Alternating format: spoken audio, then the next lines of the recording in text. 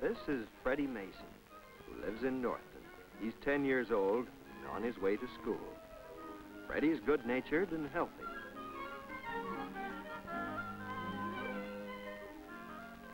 I wish I had that much energy on my way to the office each morning. But Jimmy here doesn't seem to be quite awake yet.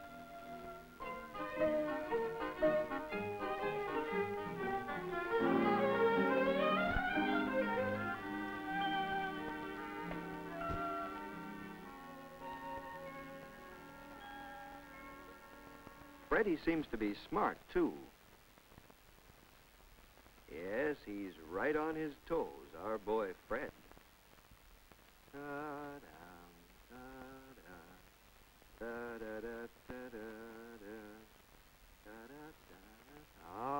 lunchtime already. In Northton, many of the children have further to go to school than children in bigger towns, so they bring their lunches. When all the desks are put together to form two long tables, it's just like a big banquet, and it's lots of fun. During the noon hour, the teacher, Miss Barnes, has a chance to know the children better. Today, they're talking about what they like to have for lunch. Freddie looks as though he has a good appetite. Perhaps that's our first clue to his good health. The right kind of food. Bobby here drinks pop every lunch period, and he's very fond of cake and Vera nearly always has jam sandwiches. But I wonder if they will give as much lasting nourishment as this hard-cooked egg, whole wheat bread, milk, and fruit. Maybe Jim doesn't eat the right kind of foods. Perhaps that's why he doesn't have as much pep as Freddie. Miss Barnes has an idea that the children might eat more health-giving foods if they could see the real importance of nutrition. So, a few days later, the class begins a special project during the health period. Miss Barnes gets six baby white rats, all equally active and healthy to demonstrate her point. Course, the children are greatly interested in the idea. They've decided to feed the rats on two different diets for a period of four weeks. Rats are used because they eat the same foods as humans and show the same effects of both good and poor nutrition. Because they grow so quickly, these baby rats will show these effects in a few weeks. They're separated into two cages, three in one and three in the other. But first, they're carefully weighed by the children, and Freddie is given the job of starting a chart. The rats are to be weighed every day for four weeks, and the weights marked on the chart to show how each is growing. The children will look for other changes, too. The class decides to feed the rats the same types of food they bring in their own lunches. The food is prepared and placed in small glass dishes. And drinking bottles with special tubes are fitted to the side of each cage. Jimmy and Vera give their rats jam sandwiches and sugar cookies to eat and soda pop to drink. Some of the kids think this sounds like a wonderful diet. Fred and Mary feed their rats on cheese sandwiches and carrot sticks. And they give them milk to drink.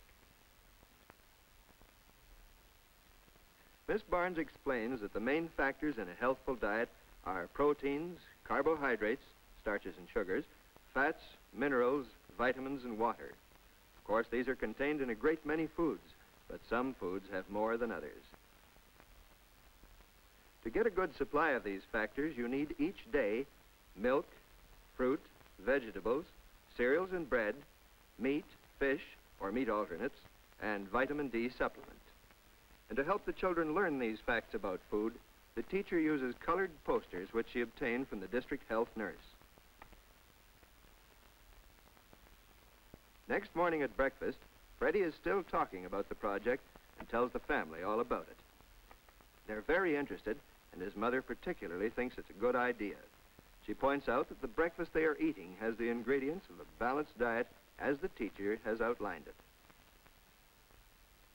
There is fruit juice, whole grain cereal,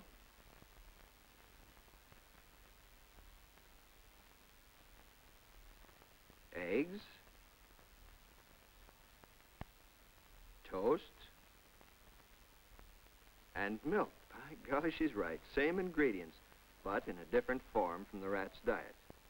Even Dad agrees that nutrition has an effect on health. Why, before he was married, he prided himself on having only a cup of coffee for breakfast. But now he finds that by eating a good meal before he goes to the office, he can work better all morning and doesn't get so irritable. But there's one vitamin that we can't get enough of from ordinary foods. Vitamin D, the sunshine vitamin. So every day, winter and summer, Mrs. Mason gives the children a vitamin D supplement.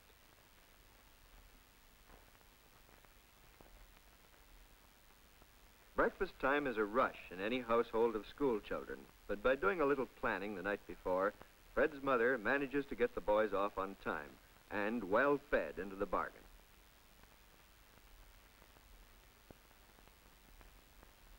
When all is peace and quiet again, Mrs. Mason sits down with her cup of coffee to plan her grocery list.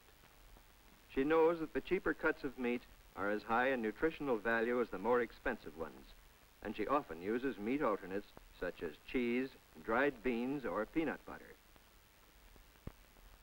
She plans to do some baking later in the day, which will help to cut down on the cost of extras such as cakes and cookies.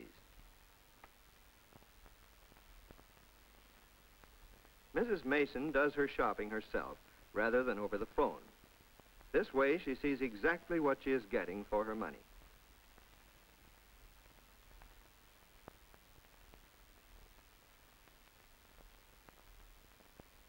She buys the vegetables that are in season.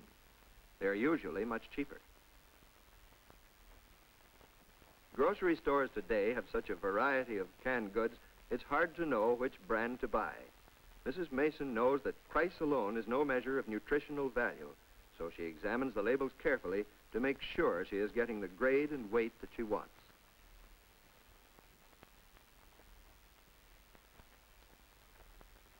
Any one of the brands of skim milk powder can be used for baking or in sauces and soups. The children drink it, too, especially if it's chilled beforehand. From the great variety of cereals on the market, she chooses the whole grain varieties and buys them in the large packages for economy.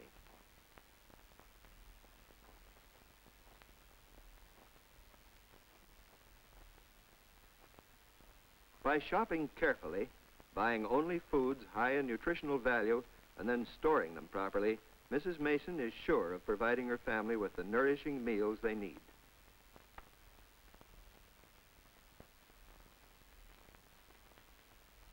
Let's look in on the health period at Freddie's school four weeks later and see what has happened to the rats.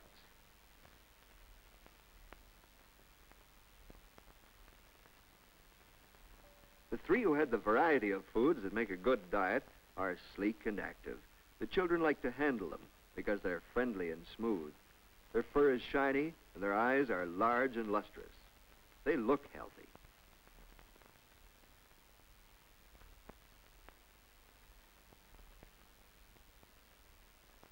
Now look at the other rats, the ones who had nothing but sugar cookies, jam sandwiches, and soft drinks.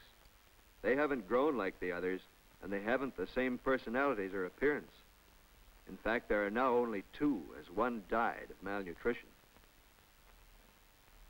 They are hungry, and yet they don't finish their food. They seem to know that it will not satisfy their needs for energy and growth. See how bad-tempered and irritable they are. Notice their small, greedy eyes and scrawny fur. But the other rats on the well-balanced diet eat up their food each day and are good-natured and healthy-looking.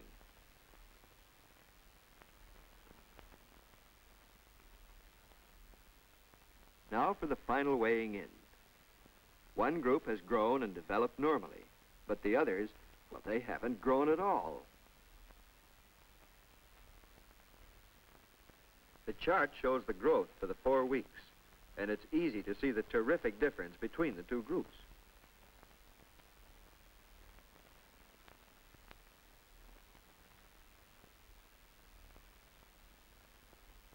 Final outcome of the demonstration can be seen more vividly when the rats are placed side by side. Although they were the same size and weight four weeks ago, those fed on the balanced diet have grown healthy and strong, but the others fed on the poor selection of foods have actually lost weight and have become weak and scruffy.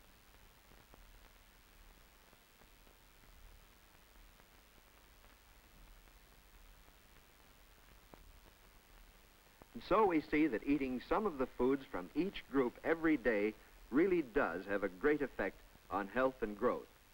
And this knowledge has been tabulated for easy reference under the name of Canada's Food Rules. Miss Barnes has a copy of this food guide for each child to take home.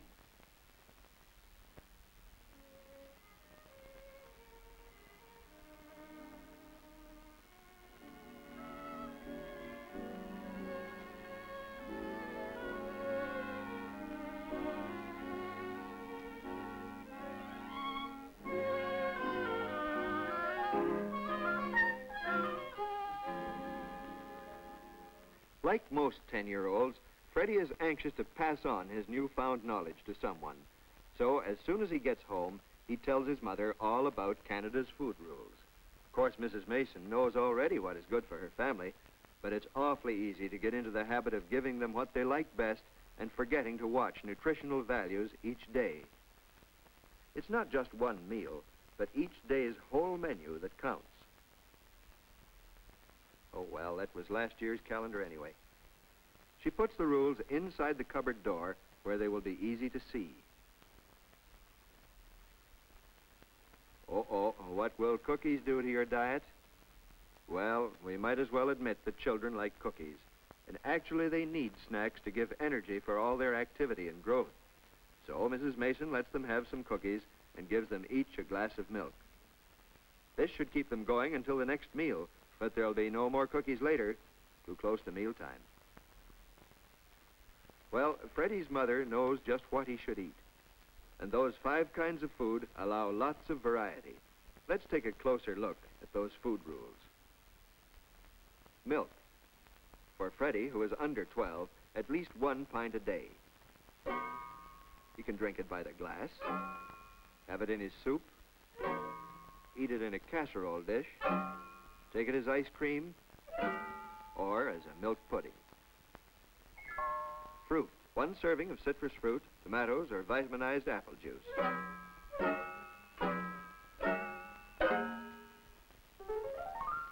And one serving of other fruit. Vegetables. At least one serving of potatoes. And at least two servings of other vegetables preferably leafy, green, or yellow, and frequently raw. Say, I'm getting hungry. Cereals and bread. One serving of whole grain cereal and at least four slices of bread with butter or fortified margarine.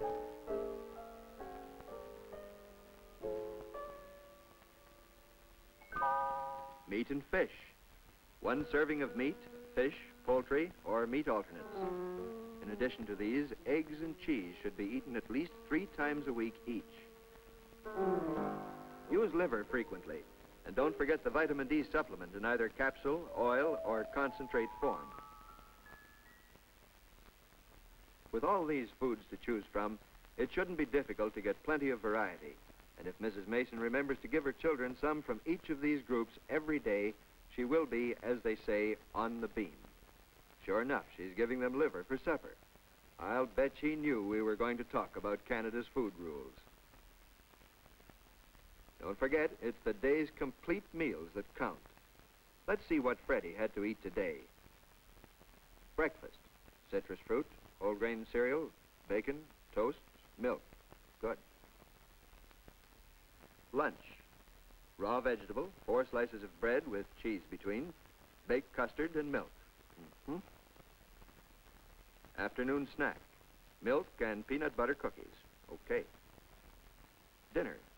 Liver, buttered carrots, baked potatoes, cabbage salad, milk, and for dessert, applesauce and gingerbread. Nice work, Mrs. Mason. You stuck to the rules. And Freddie certainly is a shining example of good food habits. And food habits include both what you eat and how you feel when you eat. The Masons have happy meal times. No one says, eat it because it's good for you. New foods are introduced early and a little at a time. Kathy hasn't tasted cabbage salad before. She likes it. The Masons enjoy their meals. They eat well because they get lots of fresh air, rest, and sunshine. They eat well because they use Canada's food rules. Do you?